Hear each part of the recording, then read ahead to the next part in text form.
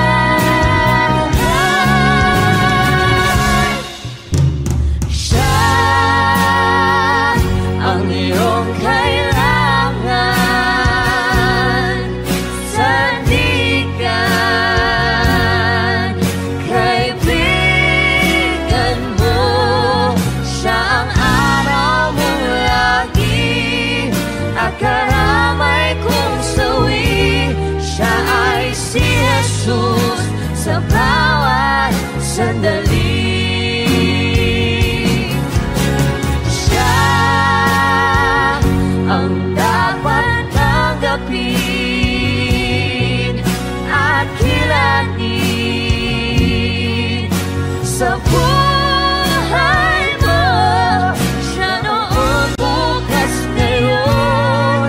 sa dalangin ko'y tugon. Siya ay Jesus. Siya ay Jesus. Siya ay Jesus.